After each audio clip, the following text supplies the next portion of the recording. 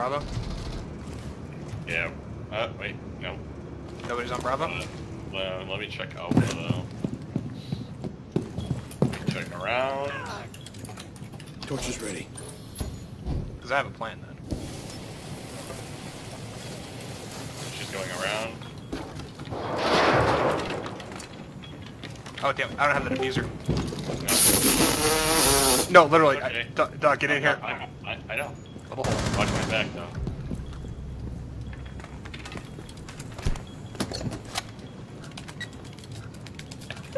I saw that res. Bonded Just free bond in there. Wait a minute.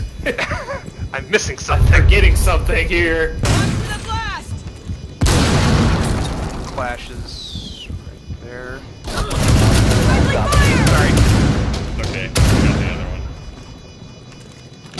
Alright, you ain't dead. I think she's gonna try and come out on us.